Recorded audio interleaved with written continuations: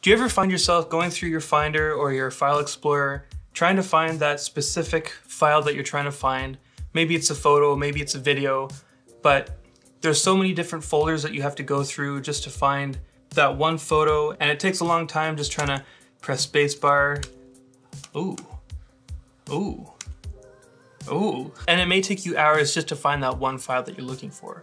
Having sidebars and different shortcuts does make this a little bit faster, but sometimes it's just not a possibility.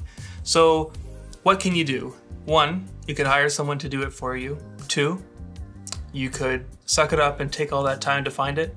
Or three, you can go and download Adobe Bridge. Adobe Bridge is actually one of the few Adobe softwares that are completely free without the use of a subscription. So I would recommend to go and download that for anyone watching this and I'll explain why in a bit. And I'll throw a link in the description just to make it easier for you to find it. Once you have it all installed, it's gonna look a little something like this. Maybe not with a Mario character, but that's what I've used here to make my folder icon with, and my screenshot folder is Spider-Man. Maybe I'll explain that in another video. But this is what it looks like. Here we have a bunch of windows and areas that really kind of don't make sense too much, but it's a lot easier than it seems. So let's just jump right in. Here we can see I have a DJI Copilot plugged in and my Macintosh HD root folder. If you haven't seen the video on the DJI Copilot, I'll link it right up here if you want to go check that out. I highly recommend this product for any photographer or filmmaker who wants to back up their footage or just wants easy access between your phone and your computers. So I have a few things backed up on this drive now. I'll go into the backups and this is a SD card that I've backed up here we can see some of the photos and videos that I've shot earlier in this month. And this right here is one of the biggest benefits for me right off the bat is that there's pretty quick previews and I can see that all in one screen. Whereas with Finder, it's not as intuitive to go and find all this. And then it takes a little bit longer to enter into, we have all of these photos and we can go through and change up the view, but having them all in one screen here where we can just click through and preview and change this size up if we want really helps and makes it a lot easier. You can even preview your videos straight from this window. This is going to be a little bit choppy because this is a physical hard drive and not an SSD, but this drive excels more in the backup and its functionality compared to the speed. So just having this one window where you can preview all of your photos your photos, your photos, your photos, and all your videos that you've taken, and really makes it a lot faster to find all of your files. And you also might notice that I'm previewing JPEG and DNG files here. So just having this preview window makes it faster, but Adobe Bridge goes a lot deeper than just previewing. Here we can see if I click on this image, one of my favorite images I've ever, ever taken, we can see all the settings and the metadata behind this image So pull this up for better viewing. I shot at f2.8, 113th shutter speed, ISO 420, the resolution, the file size, date created, date modified. All this super deep metadata is all shown here, whereas it might take a lot longer to get to that information for each photo if you were going through the Finder or the File Explorer. You can even see here that since I was flying my drone, it even includes the latitude, longitude, and altitude of the drone while I was flying. So it really goes into detail about all the specifics of the images, or all the files. Next up, beside this metadata, we also have keywords. So these are the preset keywords that come installed, but you can just right click and delete them. Make a new keyword, and let's say drone photos. And then we can also add a sub keyword and call it on the lake. So I can start keywording all of these photos. Um, we can select a bunch, keyword them all, We also have a rating system here, so I can rate them, and I think those ratings translate into Lightroom as well. If you control click, you can also compare uh, your files in the preview window, which is also another little bonus here. And you can preview up to nine files all within the same window. Once you start selecting more, it just says how many items are selected and you can't scroll through, so max here is nine. But if you wanted to take a better look, you can also increase the preview size down here. This is gonna be a little bit more work for it, so it's gonna take a bit of time. Uh, we can scale this over and then take some better look over here. So let's say we had just opened up our SD card into Bridge and we're scrolling through our SD card. We can select our photos.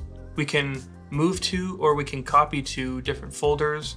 Or maybe you're looking to back up your images, you can copy to, and I can just throw them into my DJI Copilot. There's also a batch renaming, so it opens up this window here where you can customize how you want to rename it. You can add different file extensions and numbers and all that stuff here and it'll show the current and the new file names here. So it's really robust in terms of file management and file exploring. There's also a quick export. I don't really know what kind of exporting you would need to do for this. Maybe you have a bunch of raw photos that you want just the unedited raw photos turned into JPEGs. This is probably where you would go ahead and select them all and maybe create a new preset. Maybe export to JPEG with full image quality. Then you can just drag the image onto the preset and start export. And there we have it, file is exported. Next we have collections. So if you have any files that you want quickly accessed, you can start creating a new collection and you can select them and then create a new collection and rename it photos. Then you can add a smart collection which has different filters that will automatically populate the collection with. So maybe if I had some stock photos that I wanted to add, then I would go into my library, select all of these, go to collections and add stock photos. So now whenever I find new stock photos that I want to add, I can just drag and drop into that collection. Nice and easy, nice and quick. And you can see that it always shows the breadcrumbs of the files that you're viewing here. We also have the option to go back and forth and have some quick view folders here as well. If you want an even better view of seeing all of your files, you can go up to review mode here, and this will show all of the files that you have here. And you can just scroll left and right. Within this window, there is still more uh, little options that you can go through. There's different ways that you can view and view the thumbnails and view your file structure up here or your favorites. But that's pretty much this essentials page.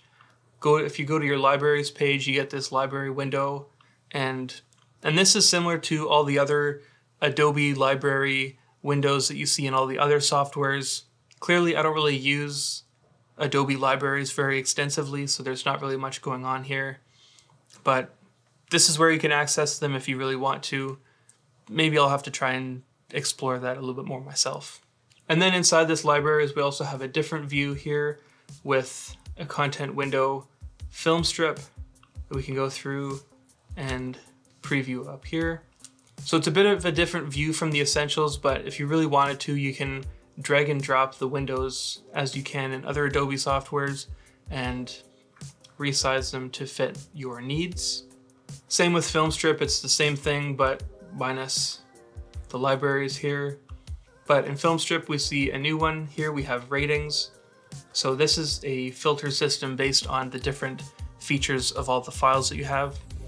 And it'll show how many of each file is in that sort of filter. So if we go to file type here, we see I have 13 DNG images. If I select the checkbox, it just shows the DNG images here.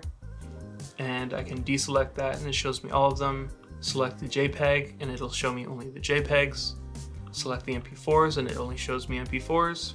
And then if you really want to, you can also filter really in depth, like the different lenses that you shot with, the model of your camera, the serial number of your camera, even the camera raw settings that you've done uncropped. I don't have any settings in camera raw applied to these, but if you did, that's where you would find them.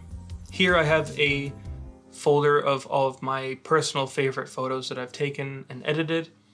And here we see I have a lot more filters that show up because these are all different photos that I've taken with different cameras. We could filter with just the specific lenses, the older camera that I had, my drone, my main camera, my A6500, and even my first camera that I ever shot photos with here. I can filter by focal length. Uh, that is pretty in-depth because it can see the exact um, millimeter of the lens focal length that you set for each photo. And then if you want to get rid of them all, you can just click this clear filter button and that gets rid of all your filters, giving you the view of all of the files all at once. Next up, we have an output page, and this is more if you're wanting to make a little canvas of your photos. I've never done this. I don't see myself ever needing to do this, so I don't really know exactly what you would use this for. So I'm just gonna go ahead and skip over this window and pretend it doesn't exist and move on to the next window. Here we have metadata, and we can see a lot more detail of each photo. Uh, we've got color profile, resolution, dimensions, and if we click on the image and go down to the metadata window, you can actually edit some of the metadata and add some more information. There's also a similar window for keywords where it shows the content and the various keywords that you can add. So if I go to this guy here, I can add on the lake. And here we see the keyword pop up here and there's both of those keywords. And if we want, we can go back to metadata and we see the keywords populate here as well. Now, if you have the Adobe Creative Cloud subscription, whether that's the full subscription or all the way down to the photographer's subscription, if you have Camera Raw, you can also edit directly inside of Adobe Bridge. If you right click and open in Camera Raw, it's super snappy and opens up the dialog window for Camera Raw, which is basically like a old version of Lightroom, which is still updated. This image is already edited, but if I really wanted to, I can start editing this inside of Camera Raw. I can click done, and then it will save those edits. If I open it back up into Camera Raw, it'll save all those settings. So you can see how snappy this is previewing all the photos. Uh, each one is probably, well, let's let's actually see how much they are. Each one is anywhere from four, three or four to all the way up to maybe 10 to 15 megabytes each photo. So it's previewing all those pretty quickly. You can also hide the filters and the name, just see the photos. Now one thing here is that you might notice that I never added these stars during this video. And that's actually because I added those stars in Lightroom when I was editing these photos. After I exported them, they actually kept those stars and imported the stars with the JPEG into Adobe Bridge. So clearly there's a lot of talking between Photoshop, Lightroom, and Adobe Bridge. There doesn't seem to be as much integration between Adobe Bridge and Premiere and After Effects yet, but I think that's because they have Adobe Prelude, which is more for ingesting and kind of previewing your video clips. But Adobe Bridge still has some decent video previewing capabilities within it as well. So with all that being said, who would use Adobe Bridge? I would say anyone who has a ton of backups and huge amounts of storage. This really helps being able to save your favorite folders for quick access. You can drag your folders down here and let's say I want best picks in my favorite windows. I can go to documents pictures and have my best picks ready right here for me to preview them. Super speedy and really quick previewing. Graphic designers might also benefit from Adobe Bridge if they have a lot of photo assets. They can right click on the image, go to open with, and you have Illustrator and Photoshop right here. You might also be able to get InDesign in that window as well, but I don't have InDesign uh, installed on this computer. Photographers can also benefit from this uh, because of the mass amount of integrations with Photoshop and Lightroom and the amount of previewing and file structuring that it gives you. And then finally, I would say anyone who's working with a lot of files in general can benefit from this. We can see I have a bunch of invoices. Those are all PDFs. You can preview PDFs in this. You can also see audio files. I don't know if you can preview them. And then I would say anyone else who uses File Explorer or Finder a lot and has to find a lot of files and photos and videos in their system, Adobe Bridge will definitely help you out with that as well. Whether or not you can see a preview of every single kind of file, I still think that you can actually benefit from this because it does seem like they can work with a majority of different file types. Here we can see that it even works with MXF files, which are um, not a normal kind of file format. They're quite a bit bigger usually than MP4s, so there's a lot more data in them. And there's not really as much overall support for those kind of files, but being able to preview it really helps out within Adobe Bridge. So that, my friends, is Adobe Bridge. I have 2021 here, they just released it. 2020 and older versions are pretty similar, so you don't really have to update. There's definitely nothing wrong with updating, unless maybe you have an older system that isn't compatible with the new update. But Adobe Bridge, I recommend. Definitely worth checking out. I hope this quick video helped.